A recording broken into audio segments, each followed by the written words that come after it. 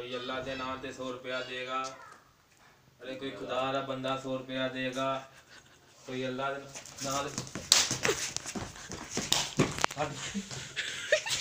नाम